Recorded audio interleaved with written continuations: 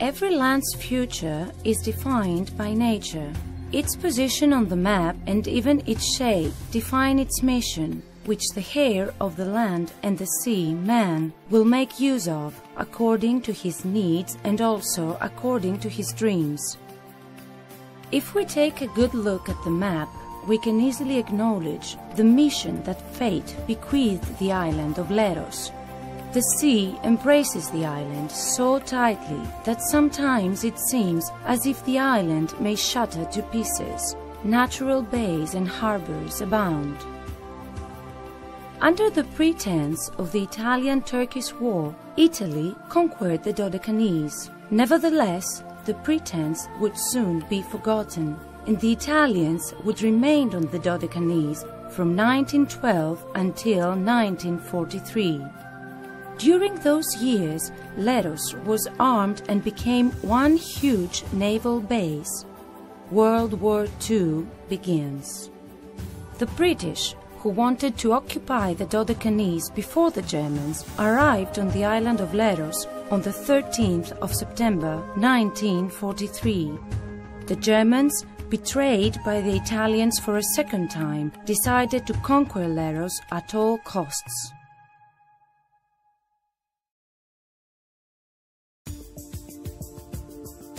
Leros, a frontier island of exquisite beauty, still carries in its heart the indelible scars of the war.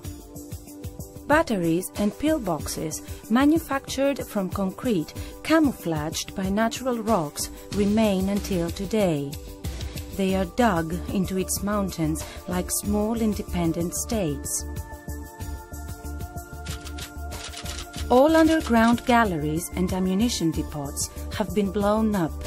We can understand the magnitude of the bombings from the craters and the shattered rocks which are scattered around the area of the battery.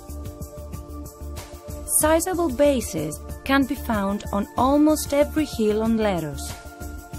Here were based the gigantic Italian cannons with a range of nearly 18 kilometers.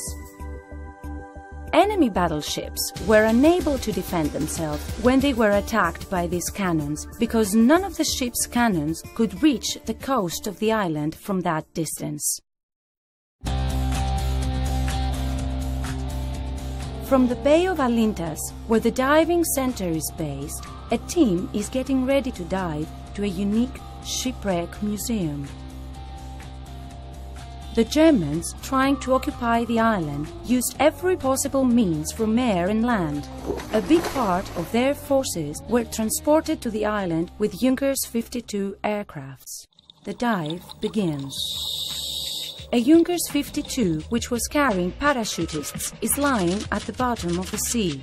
It has been caught by a huge net, and it seems like the aircraft is lying peacefully in a gigantic cocoon. The side machine guns are turned towards the surface of the sea with a loading clip suspended, ready to fire. They have remained untouched for nearly 65 years. Andreas Hutter, a machine gunner who flew this specific aircraft and is still alive in Germany, said that the plane had been hit hard in the rear rudder. Many men were lost.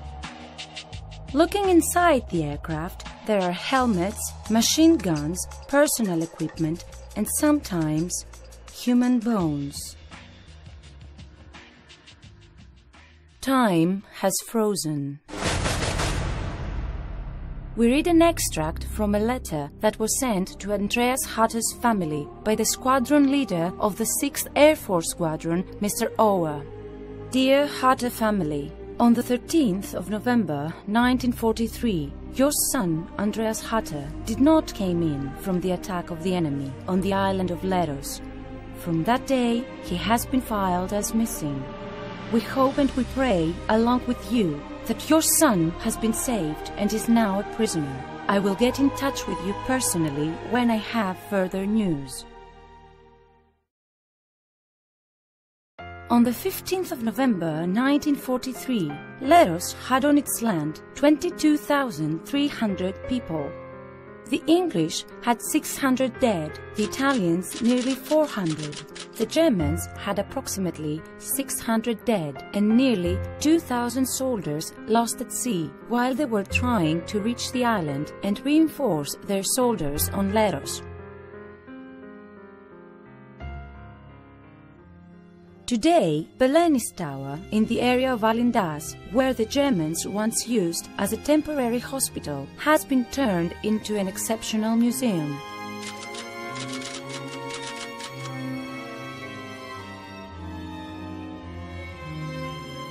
The tower is a building of unique construction that adds an air stolen from the era of the medieval knights. On the ground floor of the tower, valuable paintings engravings and other pieces of popular art are exhibited. Climbing the stairs to the first floor, time goes backward and a large number of objects are there and take us back to World War II. Helmets of all the armed forces that fought there, soldiers' personal equipment, maps, documents, guns of different range and size.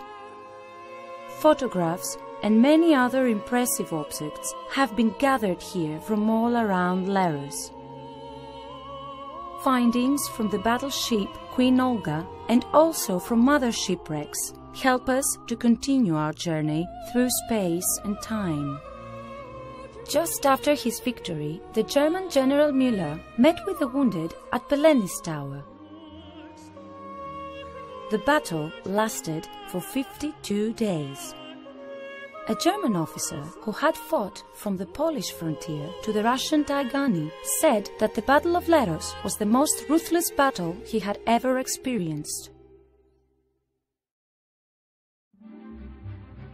With a traditional fishing boat, the diving team begins a daily expedition.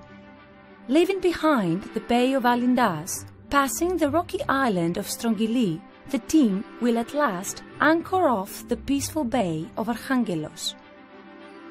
All the natural ports of Leros were either guarded or mined. At the entries of Laki and Partheni, metallic nets were cast. In the warehouses, there was enough material for laying mines all along the coast of Alindas.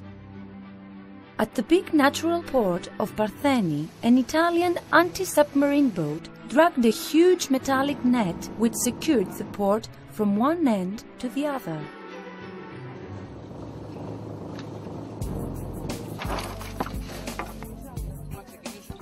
After a short briefing from the head of the expedition, the divers are getting ready to dive into the entrance of the Bay of Partheni.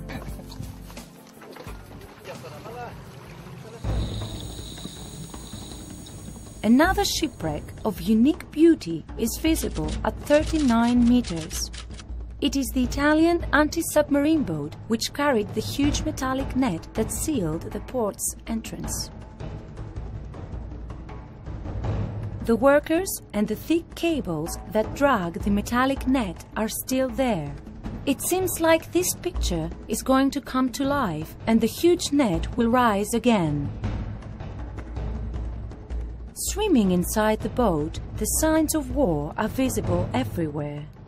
A bomb from an enemy aircraft which hit the boat cut her side horribly.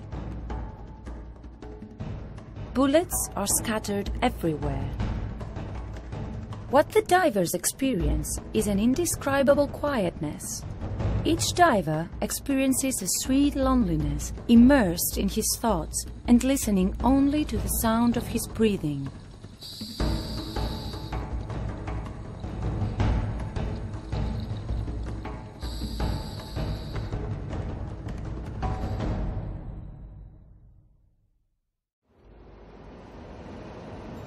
Continuing our journey, we cross rough paths which bring us to hills with incredible views of where many buildings, large cannon bases, pillboxes of unique construction and technique have all been salvaged.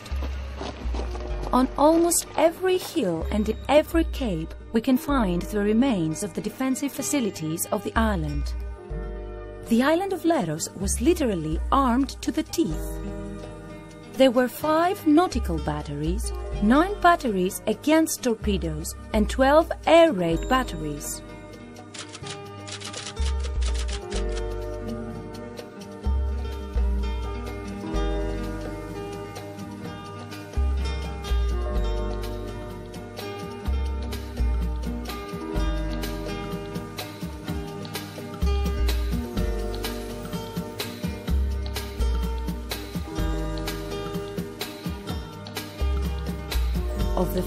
52 days of the Battle of Leros, during the first six there were 300 air raids with 1,369 aircraft flights over its sky.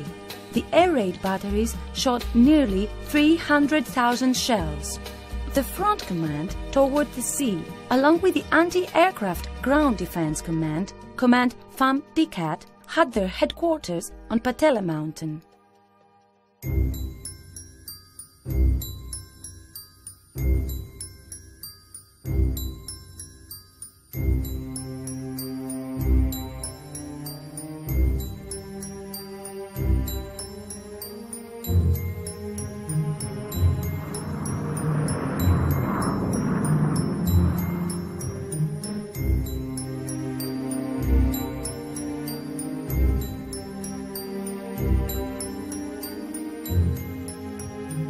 The communication centers of both commands were connected inside the mountain. The secured space of the telephone communication center intercommunicated through a horizontal tunnel with an observation tower which was placed on top of the center.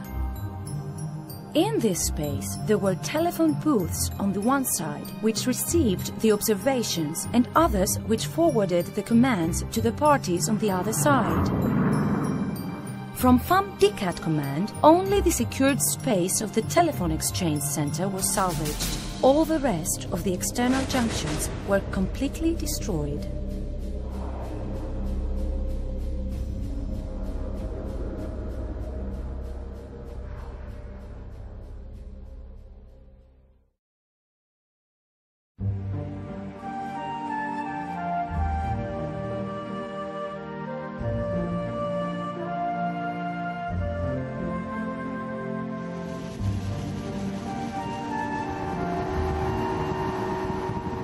Continuing their journey, the diving team visits one more shipwreck. At the Bay of Belefoutis, 16 meters under sea level, lies a big part of the fuselage of a German bombardier, a Heinkel 111.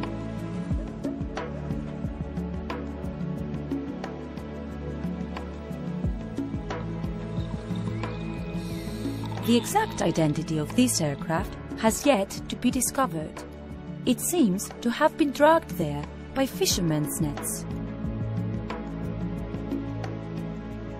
The rest of the aircraft is scattered around and remains to be revealed.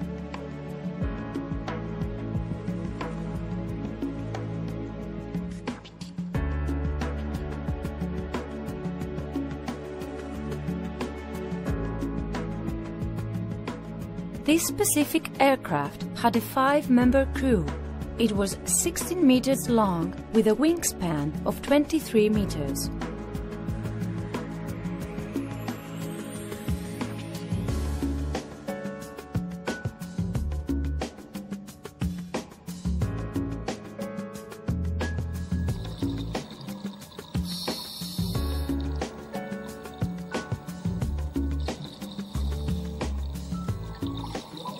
During the landing of the German troops on the island of Leros, the main body of the naval forces landed mostly on the northeast coast of the island. Further north, on Belefoutis Hill, Battery 888 managed to attack two landing boats that immediately went up in flames. One of them tried to escape the battle by moving further out to sea so as to have the protection of the anti-torpedo boats. The second was hit from the fire of the 888 battery and suffered severe damage to her rudder. Then it started to move in circles around the rocky island of Strongili, hitting again and again on its grey rocks. This same boat is lying today at the bottom of the sea at 17 meters depth, very close to the island of Strongili. The boat was so severely hit that she was cut in two, divided into two major pieces. Flare pistols and different kinds of armament are still lying at the bottom of the Aegean. The superconstruction of the landing boat, the ramp, and all the other constructions of the boat have collapsed. Observing the shipwreck more closely, somewhere hidden in the sand lies a soldier's gear, his radio, his flask, the soles of his boots, his helmet are lying there quietly.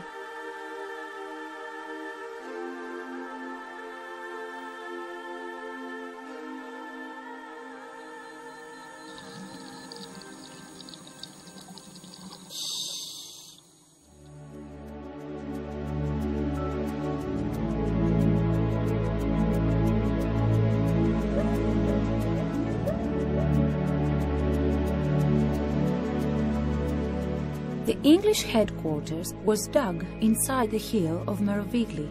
Its roof was made of 20 meters of hard rock and it had two exits in the shape of a spear. The one looked over the Bay of Laki and the other one over the Bay of Alindas. From there, Major Tilney could see everything that happened on the island. It was really a strategic point. But the Germans also knew that. It was there that most of the bombardiers showed their fiercest face.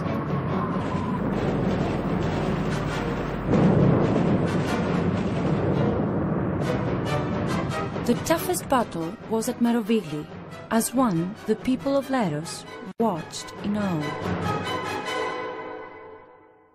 In the area of St. Nicholas Radio, the Italian Shielded Communication Center has been preserved until today.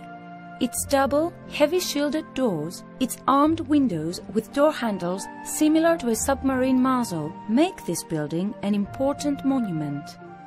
When Leros fell, the Germans took over all the Italian facilities. The German Eagle still remains in one of these rooms.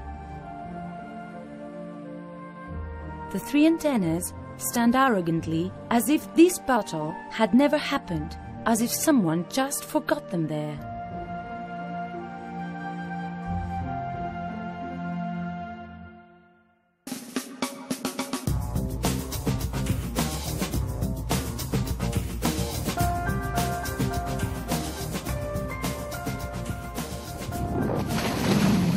On the 26th of September 1943, the destroyer ship Queen Olga, along with English Intrepid, were surprise attacked while they were anchored inside the port of La Laki. The tragedy that took place that day was beyond imagination. The Queen Olga was literally blown into the air while the oil that she was carrying burned around her on the sea. 80 people died on the spot, a legendary boat for the Greek naval army.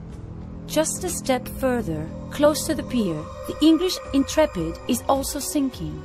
And the catastrophe continues. Small boats, barges, floating cranes, hydroplanes, anything that floats is fiercely bombarded. 31 meters under the sea lies silently what is left of the destroyer ship Queen Olga portholes, shell cases, and cannon shells are some of the signs that indicate that this was once upon a time a battleship. The power of a destructive war slowly unfolds before our eyes.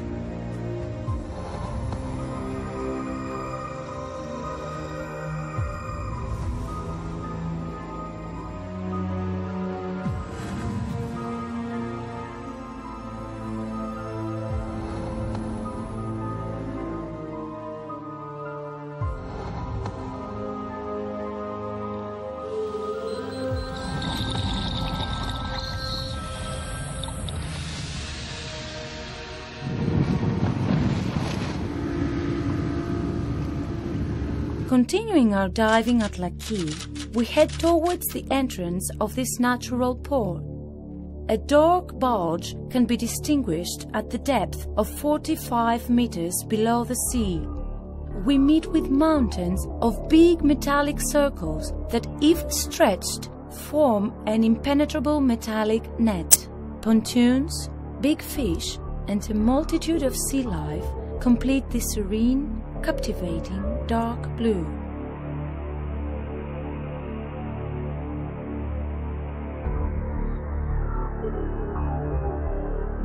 Coming up to a depth of 24 meters, a huge metallic buoy that has been left there since the war is still hanging like the ghost of a flying saucer. At the same place of St. Nicholas Radio, there is another private collection filled with relics from the Battle of Leros in a special space. The love of Mr. Yannis Paraponiaris, his passion for findings of the Second World War, led him to create a sizable collection. Uniforms, gear, missiles from ships, bombs, mines, even aircraft canopies decorate this small area. In an environment so warm, with so many objects around you, you feel like you're touching them, like you're holding them yourself.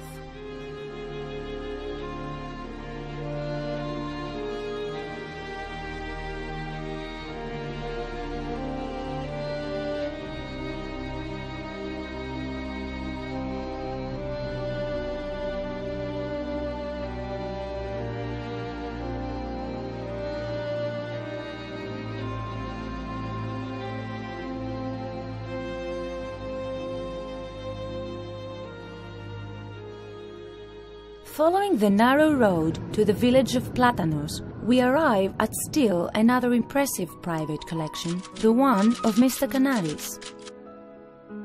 Tassos Canaris experienced the battle when he was just a boy, and his life is history itself. Viaggio all'Ero era un miracolo, tutta gramata. Many times he has been the main reason for the reunion of old comrades in arms and even enemy soldiers that when they finally met, they embraced each other wholeheartedly.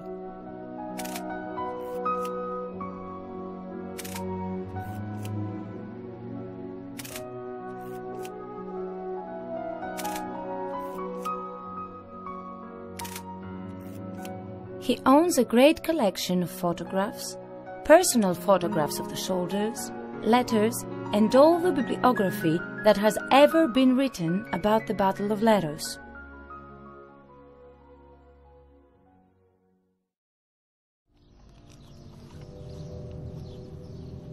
At the area of Merikia, one of many of the Italian shelters has been turned into a lively museum. Around it, many different vehicles of the armed forces are exhibited.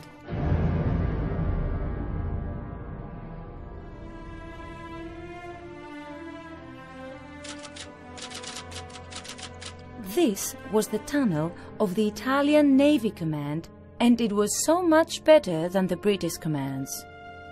Its floors were made of concrete. It had good lighting and excellent ventilation. Tunnels and dim light, guns, maps and information show us an even crueler image of this hard battle.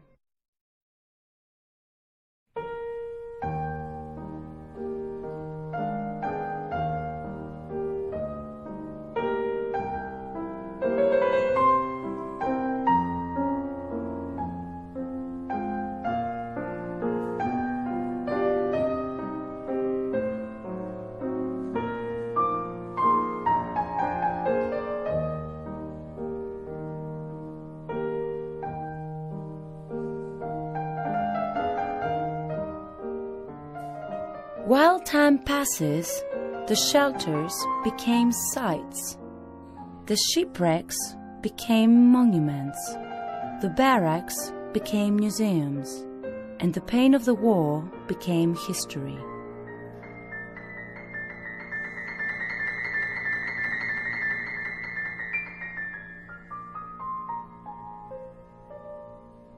Leros, an alternative proposition for your vacation a special destination that combines natural beauty and historic memory.